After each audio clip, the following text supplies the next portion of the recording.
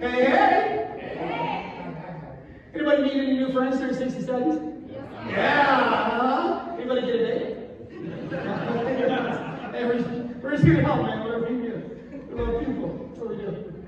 So tonight, here's what we're doing. Uh, we're jumping into uh, an amazing, amazing journey through First and Second Kings and First and Second Chronicles. Now, I know what some of you are thinking. You're thinking we've already heard this God because you attend a different location. Well, Becker always runs just a little bit behind. And with Christmas and with all of Christmas, with Easter, Christmas, Easter, whatever. It's all about Jesus anyway. With Easter, what we did is we had to push the talk just a little bit. But I promise you that when you hear a message like this, whether it be your first time tonight or whether it be your second, third, or fourth, God is going to reveal something amazing to you, all right? And so what I want to do is I want to go ahead and I want to stop, I slow down, I want to take a minute to pray, and then we're going to dive into First and Second Kings and First and Second Chronicles tonight. I told you we're going for four books tonight. This is going to be great. Let's pray. Jesus, first and foremost, again, what an incredible opportunity to have on a Wednesday night.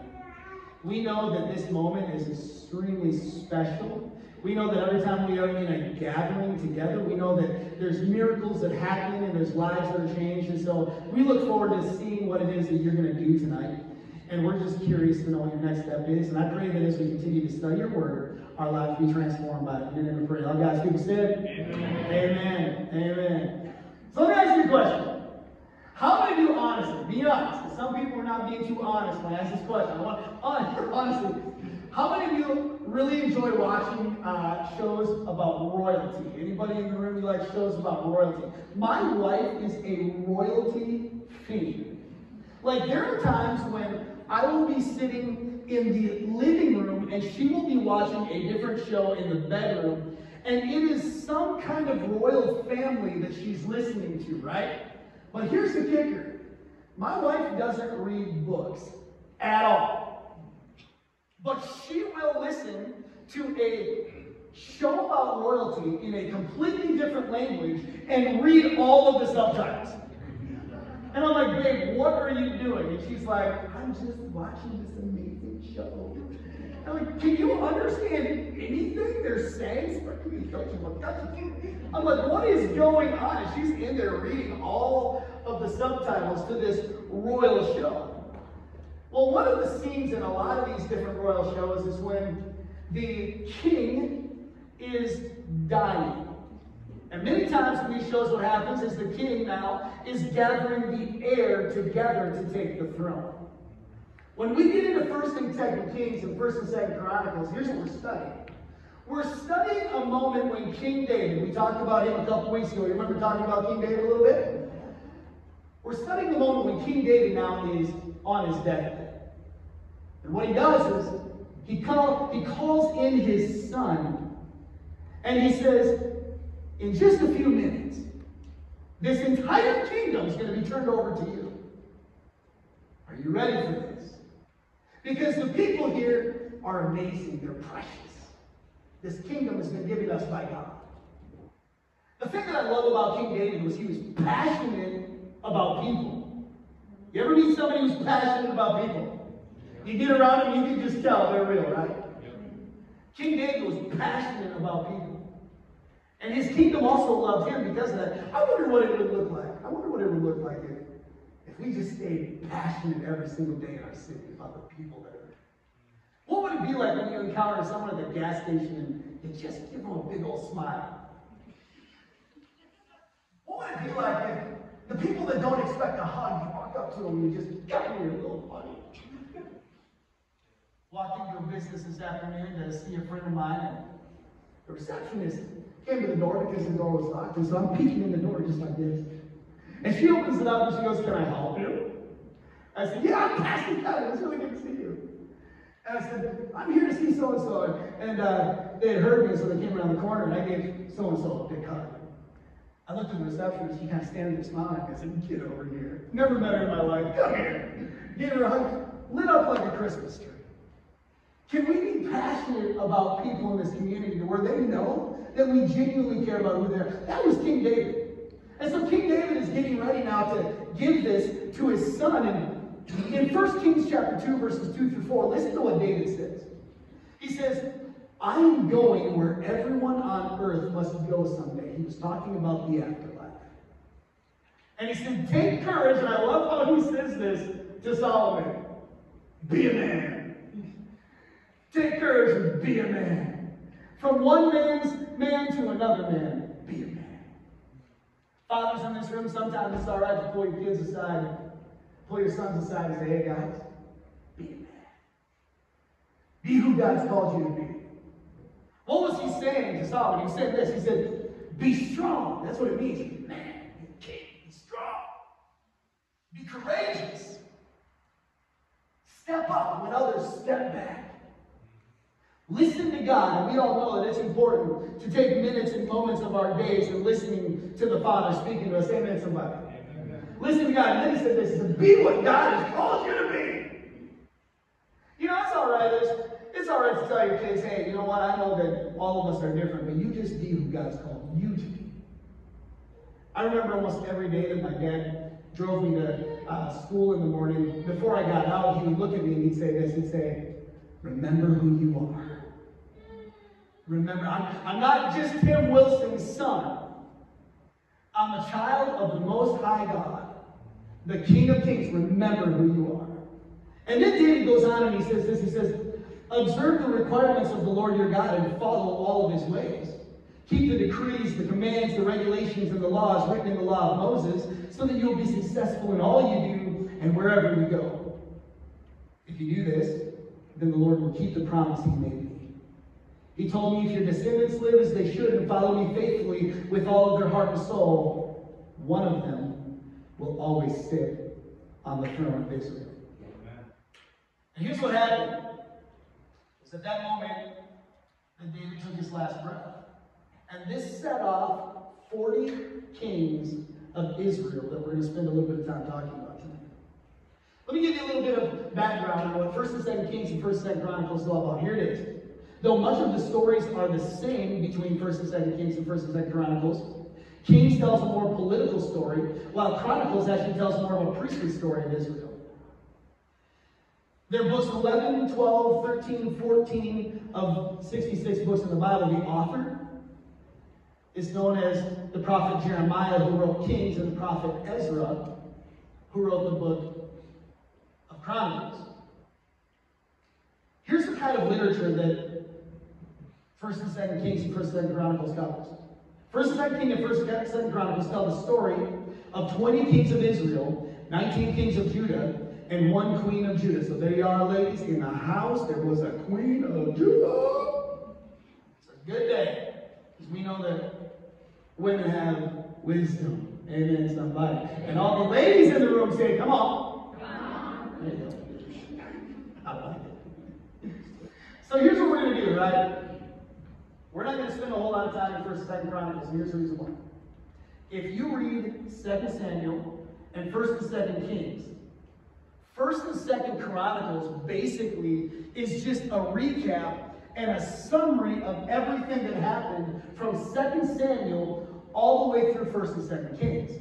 And so it's really the same story over and over and over again. However, I want us to take a really important piece from First and Second Chronicles tonight.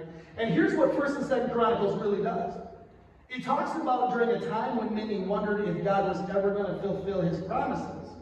The chronicle retold the story of their collective past in order to rekindle their hope for their future. That's why First and Second Chronicles is so important. You ever had those moments in life where you're just kind of wondering where God is sitting? Where are you at, God? We all have some of those. We all have some of those dry moments. You know, if you've been a Christian for, for long, or if you've been a believer for very long, you know that you kind of start off the journey on full turbos, and you're like, oh, what the Lord has done Monday, Tuesday, Wednesday. Oh my goodness, I can't believe it. And then about a year and a half, two years later, you're kind of like, ah, the Lord is good. The Lord is good. Five years later, like, He's still good. Seven years later, sometimes you go through some stuff, you're like, I wonder if the Lord is good. There's moments where you get into these pauses. And what the chronicler was talking about, and why they wrote the way they did, was to remind the people of what God did in the past because he's still the same God of yesterday, today, and forever. If he did it for you in the past, he's going to do it for you again. Don't lose hope. Stay solid in your faith. Understand He's at work in your life right now, even as you are sitting here tonight. I want you to know that God is building you into the person He desires you to be because He's got something for you in the future. I remember in 1998 when I was at Bible college in Minneapolis. My dad made the phone call and said, You want to come and be a youth pastor in Becker, Minnesota? And I said, I don't think uh, I don't think so, Dad. I'm 19 years old. There's nobody that's going to take me seriously. I mean, a senior in high school is 18, right? I am a youth pastor. I'm 19. So much wisdom. I remember the moment I said, yeah.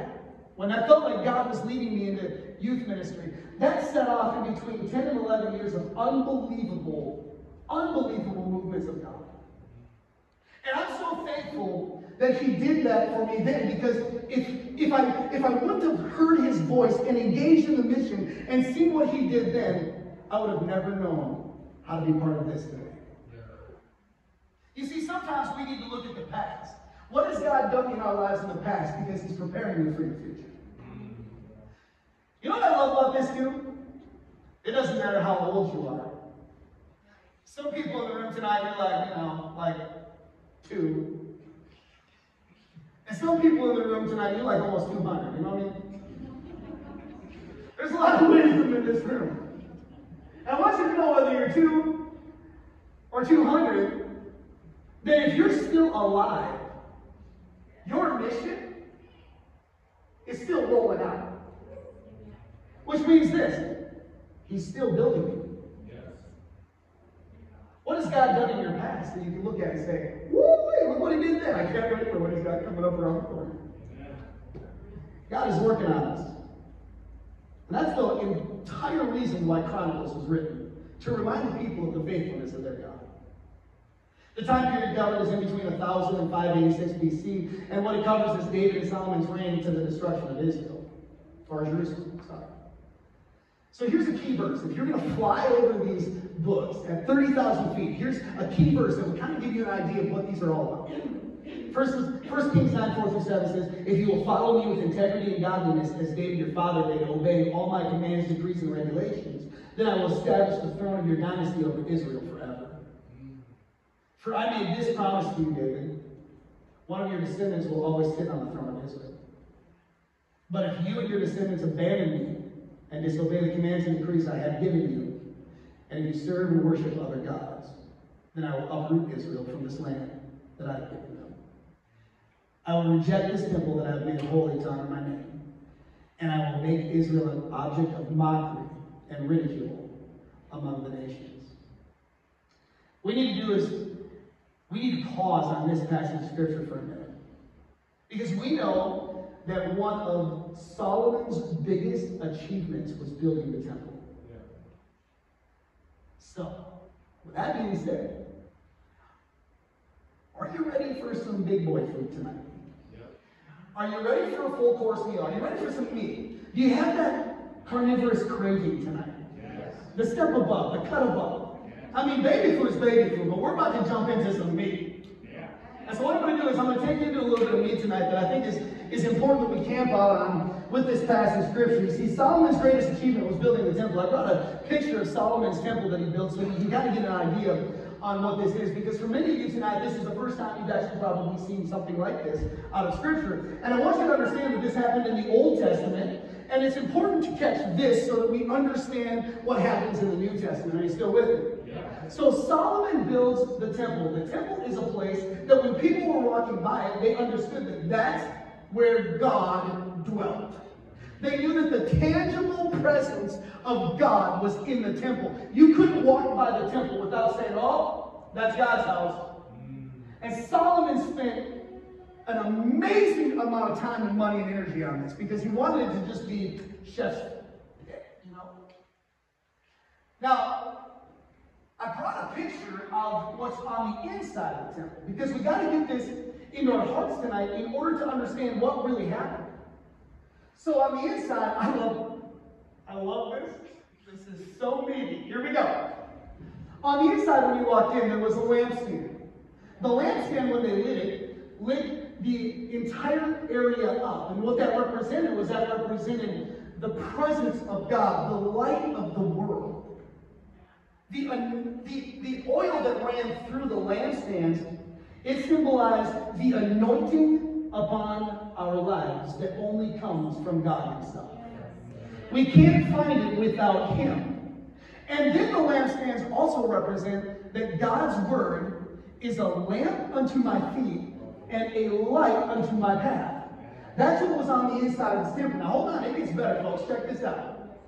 Then you've got the table of showbread. What the table of showbread is, A, it makes you hungry for that Texas Roadhouse showbread with that honey butter. You know what I'm saying? I think they probably had a little honey butter sitting right next to it. And here's what it was at the table of showbread. The table of showbread had 12 pieces of unleavened bread, but it was stacked in two stacks of six. And what it symbolized, it symbolized the provision from God to his people. However, it also symbolized that God provides for each and every single one of us spiritually. When you saw the showbread, you're like, oh, we about to eat. You ever left this place on, on Wednesday night you felt like you just ate at a full course buffet and you feel you're spiritually stuffed, just ready for the day? That's what these guys got to experience. And then there's this amazing other place called the altar of incense that's there right before you walk through the veil. I love the altar of incense. This is amazing. Listen to the symbolism. Well, what happened is the priest would go on and they, they'd light it up. And you know what that represented? That represented the prayers of the people. And what that place would do is it would smell of the aroma of the prayers of the people to God. I wonder if people, when they get out in our parking lot, I wonder if they can already smell the prayers that have already gone forth from them. I wonder if there's an aroma when you walk into this building, an aroma where when you you're like, oh man, the, the Spirit of God is in this place. The prayers of the people have filled the rows. Every seat has been touched by somebody praying for you. I want you to know that when you sat down, incense went up the prayers that went to God. If you could see it through spiritual eyes tonight, it would look like this. And that prayer would just go right up. God is after you tonight. And the priest would light this. Then there was this veil. This is where it gets pretty intense. Because only the high priest was able to walk through the veil into the Holy of Holies. Check this out. In the Holy of Holies, there was the cherubim and the Ark of the Covenant. The Ark of the Covenant is the presence of God. And inside the Ark of the Covenant, there were the Ten Commandments, there was Aaron's staff, and there was uh, a, a, piece of manna, which was bread that God provided for the Israelites as they were going through the wilderness. Y'all remember that story we talked about a while back? All right. If the high priest was moving into that place, there was a preparation process. And here's what they would do they would put bells around the bottom of whatever the high priest was wearing. And then they tie a rope around the high priest's leg. Now listen, if the high priest had sin in his life as he passed through the veil into where God dwelt, that high priest would drop dead. And the bells would go ding, ding, ding. It was at that moment that the priest would pull the high priest back through the veil because he could not enter the presence of God like that. Now, if it was still like that today, y'all, I would not be your pastor. Uh, you're on your own. You sign up for that job. All right. Why is this so good? Well, here you go. This is what Solomon built in the Old Testament. This is the temple in the Old Testament. But then we get to Matthew chapter 27, verse 50. Listen to this. It says, And Jesus, he was on the cross, cried out again with a loud voice and yielded up his spirit. Now check this out. Then behold, the veil of the temple was torn in two from top to bottom, and the earthquake and the rocks split. You see, what happened in the New Testament when Jesus died, that veil literally split in half. Now, if people were around the temple when that happened, they would have taken off running, going, Oh no, God's going to get out. Because they knew how it was set up. Yeah. But when the veil tore, that was symbolic that it was through Jesus Christ that we all now have access to the Holy of Holies, to God Himself. We don't need a mediator. You don't need someone on your behalf to say, well, just bring your sins to me and I'll talk to the Lord. No, you get to go right to God and say, hey, God, here I am. You see me as I am. And you get to say, will you forgive me? Will you, will you give me my mission? Can I be part of what you're doing? You see, we have full access to God Himself. So this is what this means. In the Old Testament, Solomon was entrusted to build the temple, which was a tangible place where God dwelt. Now check this out. Who do you think the temple is today? Every believer that's sitting in this room? That's right. You're the temple. Now it's your, your aromas. Now it's your full access. Now it's your provision that you get to see up close and personal. No priest entering on your behalf. You get to experience. I can tell you that that has changed my life. Understanding that God has built me into his temple, that God has built you into his temple as a believer. I think that that is absolutely life-changing. So what does this mean? Well, in 1 Corinthians 3, 16 and 17, it says this. Don't you realize that all, all together, that all of you together are the temple of God, and that the Spirit of God lives in you? God will destroy anyone who destroys this temple, for God's temple is holy, and you are that temple. You see, when God made us his temple, he made us a unique body. You tell the person sitting next to you, you're unique. Some have way too much fun with that. You're unique. What does it mean to be unique? What does it mean to be the temple of God? Well, here's a few ideas. God is good. If God is good, guess who else is good? We are. God is merciful. If God is merciful, guess who else is merciful? We are. God is loyal. And don't you just love the fact that God is loyal? There's a difference between a loyal person and a non-loyal person. You know what I'm saying? God is loyal. And if God is loyal, guess who else is loyal? We are. God is grace-filled. Anybody excited that you got the grace of God flowing through your veins tonight? And if God is grace-filled, guess who else is grace-filled? We are. God is compassionate. You meet compassionate people, you love being around compassionate people. Why? Because they see beyond your sin. If God is compassionate, guess who else is compassionate? We are.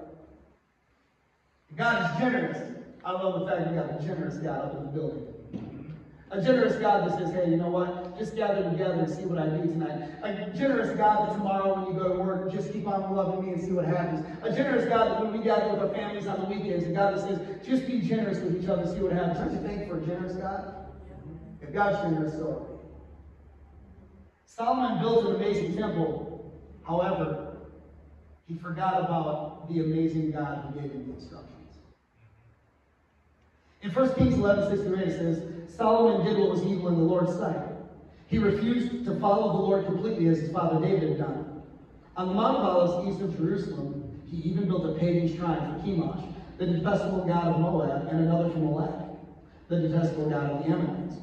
Solomon built such shrines for all of his foreign wives to use for burning incense and sacrificing their gods. You see, what happened is Solomon forgot his God. And here's what this set off. This set off amazing movements where other kings did exactly what Solomon did. Forgot who God was. So here's the big idea.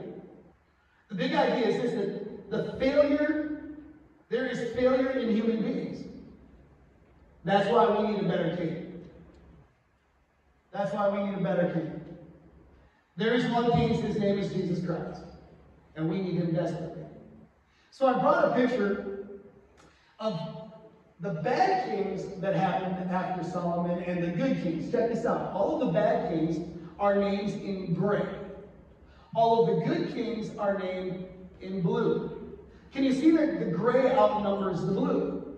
What happens is corruption always destroys a nation. And year after year after year after year, there were kings that were corrupt and took down what God desired to build. I think that we can probably take a lesson from this. If you look at the blue, all of the blue are the kings that were good and followed God. And if you follow their stories in Scripture, what you see is when a good king did what a good God desired, good things happened. And even today, I want you to understand this is true for you and I. If we just continue to do what God asks us to do, good things will happen. That's why we must pray for our nation. That's why we need to pray for the leaders that are in office. That's why we need to pray for the leaders that might take office. Why? Because good kings do good things because of their good God. But if you forget about a good God, you've now lost the favor of God on your life and your nation struggles. And that's exactly what happened over and over and over again. And this is the big takeaway that I took, took away from studying the books, First and Second Kings. The big idea is that human beings can worship false gods and think it's right. Human beings can worship false gods and think it's right. And that's what happened over and over and over with these people. Let's just do it a little different than the way that King David did. Let's just tweak this and tweak that. I know that God said to do it this way, but let's get away with this. How about we try this? What was it? They began to worship false idols. They began to worship self. They began to worship the gods of the day. They, they began to worship the idols. Why? Because they thought it was right. But I want you to know that it's dangerous when we think a false idol is right. It doesn't take very long to find out what the idols are in our world today. Money. So many worship money. Self. So many worship self. Today I went to build some practice down the road and I looked and there was the self checkout and then there was the checkout with a person there. There were two people in front of me and I thought, now, I could blow right through this tonight, and I could self check out myself. But you know what? God called me to be around people. So I waited in line, even though self checkout was ready to rock. And I went through the line and I said to her, I said, Now, I could have done self check, but I chose you check. Because you're a person, and I like people. And then I said this it's almost like you see a lot of self today, isn't it? And she goes, Yeah. You see, it's, it's about knowing our mission and who called us to it.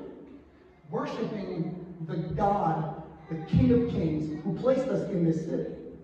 So what I'm going to do is, I'm going to wrap this up. I'm going to land the plane with just a, an amazing story that I found in First Kings that I think needs to be highlighted.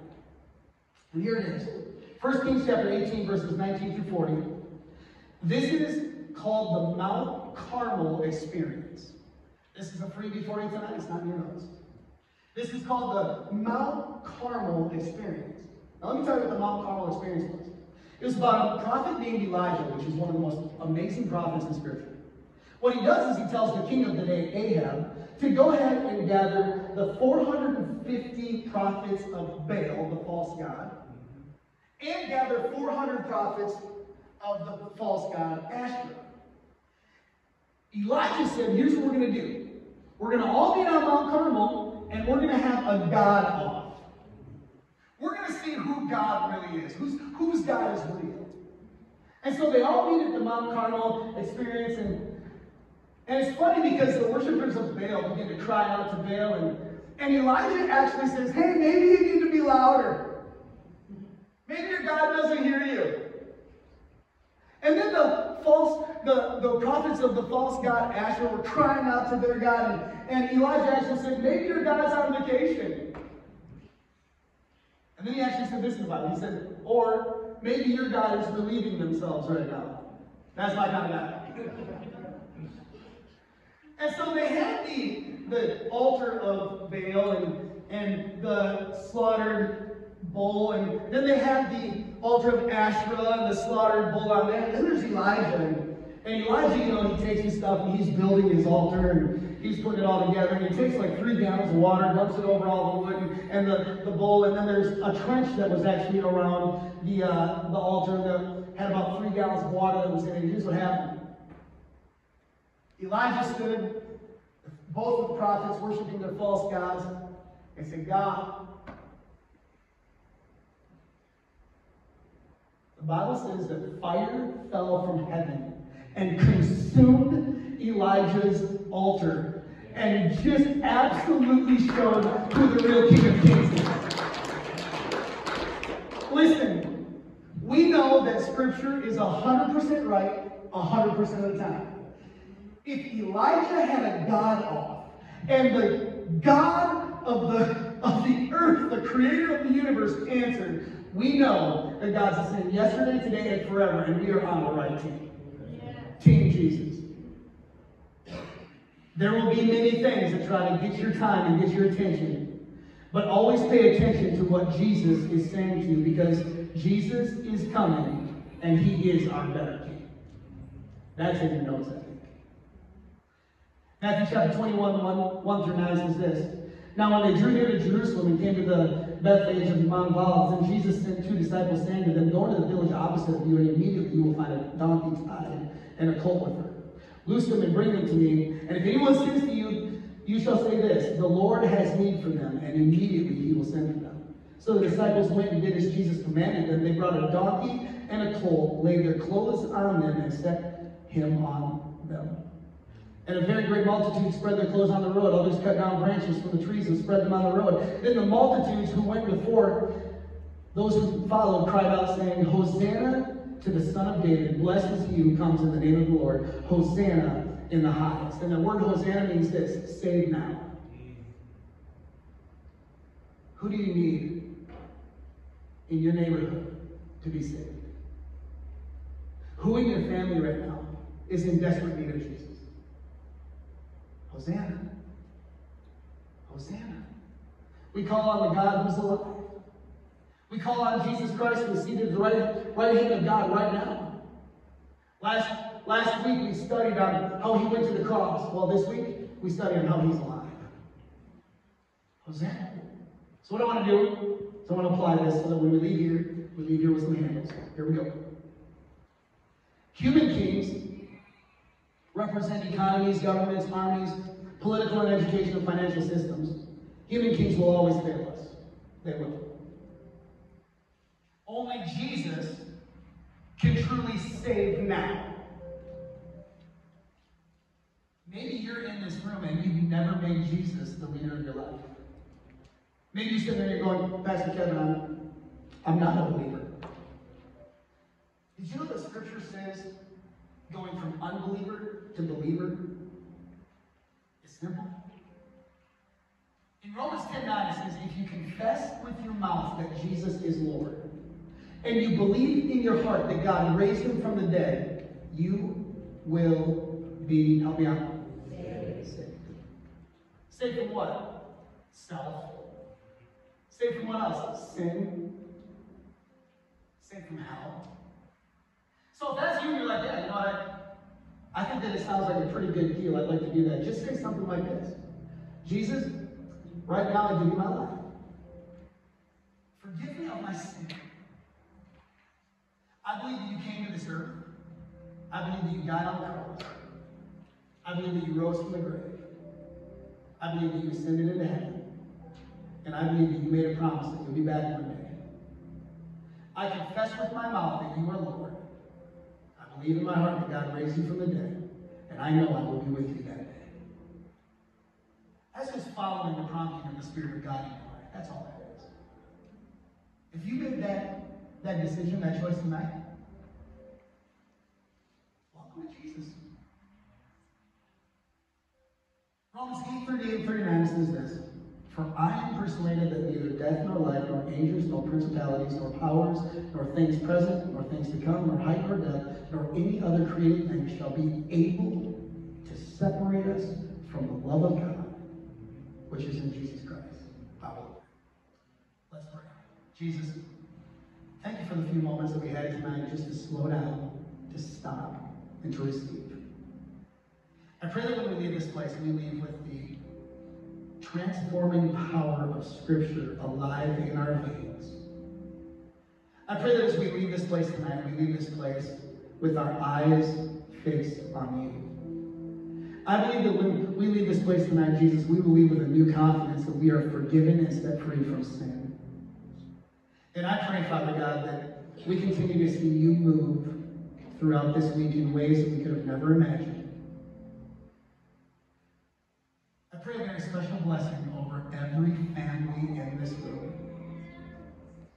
Thank you so much for what you're doing in the lives of your people. Thank you for what you're doing right here in Becker and the surrounding areas. We give you all the glory, we give you all the honor, and we give you all the praise. In your mighty name we pray. At the end of every single service, we always do a blessing verse, so when you leave, you leave with the blessing of God on your life.